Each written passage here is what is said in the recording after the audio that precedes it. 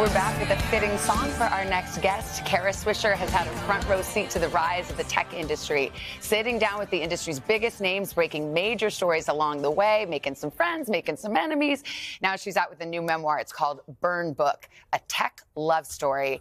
And she is not holding back. She never would. Kara, good Hi, morning. good to see you.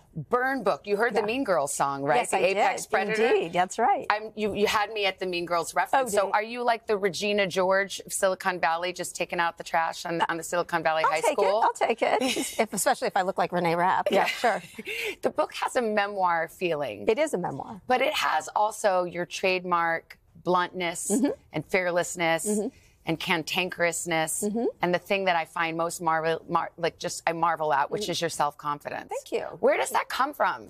I don't know. I don't know why we asked that question. You know, Savannah, it's really weird. Everyone's like, "How come you're so confident?" As if it's Because most people thing. are. That's why. But not that it's negative, just that Yeah. it's a re- it's remarkable. One Right. has to remark on. I don't know. Maybe my dad died when I was little. Maybe I had to be confident about myself. But I was born that way. I Yeah. think in that way. I think many people are and get squashed out. I liked reading about your early career Mm-hmm. and kind of, I mean, even as a young 20 year old aspiring reporter, you were like poking at people in power. Yes, yes. I have something. uh, There's something about me that I when when people at like people assume things, I'm always like, well, why? Why did you do that? What are you doing? And I'm not particularly scared of people unless they're actually scary. You did mention your, your father passed when you were just five years Mm-hmm. old. And I was so touched by the way you put it because you, you, you said when you're five, your parents are basically the only people you know. That's correct. So you lost half your world. That's right. In just a moment. Exactly. Do you feel like that contributed to your drive or who you are? Yeah, I think it gives you. There's a thing called highly functional people whose parents die at a young age. They get eh, the worst thing that happened to them, and they keep going, um, and and then they're fine. But they're not fine, but they're fine. That Yeah. makes sense. You call this book a love story to tech. It is. So, like most love stories I know, there's heartbreak, falling out. Mm-hmm. Yep.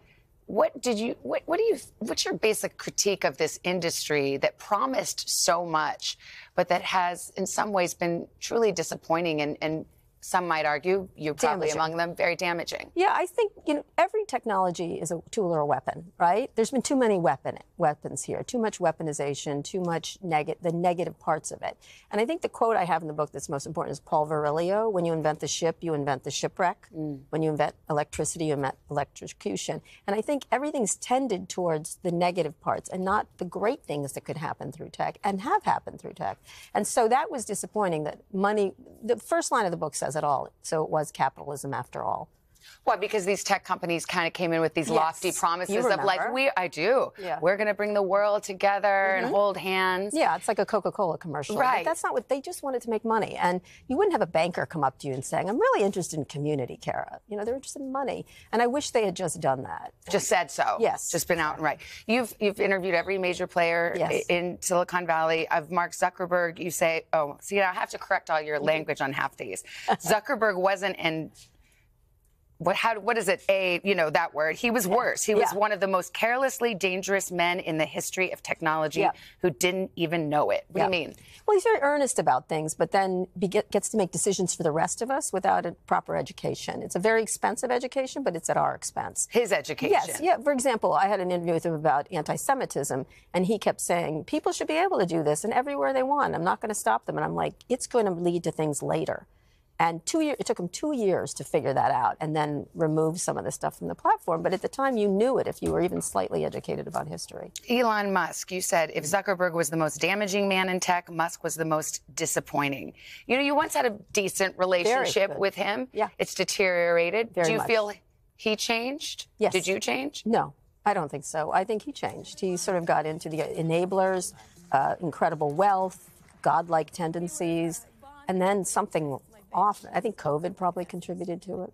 I mean, it's pretty incredible because he has an enormous amount of influence. He can, Mm-hmm. with the flick of a switch, turn off the satellites in Ukraine, affect a war. Mm-hmm. He has a, a huge amount to do with our transition to electric cars. That's correct. We take his ride on SpaceX just to the space. Space the U.S. station. government does. Yeah.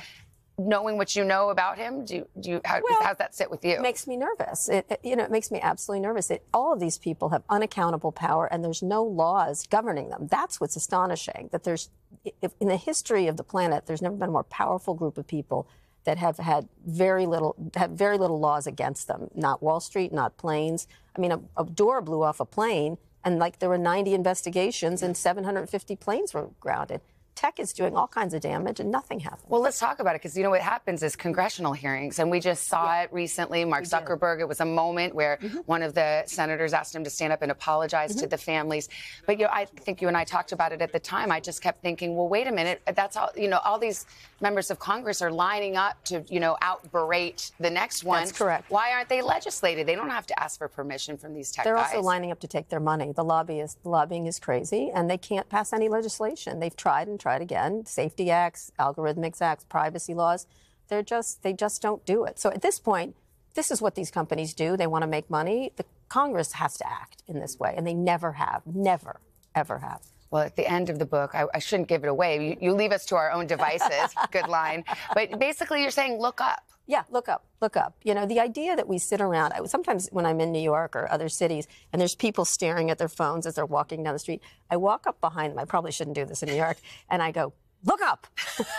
and nearly to a person, they're like, oh, yeah, of course. And I want them to do that. And you know, I love my phone. It's my favorite relationship I've ever had. No, it's not. My, I have a lot of. It's up there. It's up there.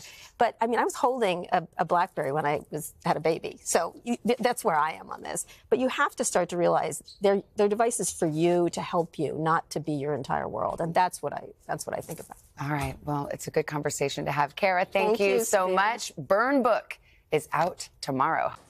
Hey, thanks for watching. Don't miss the Today Show every weekday at 11 a.m. Eastern, 8 Pacific on our streaming channel, Today All Day. To watch, head to today.com slash all day or click the link right here.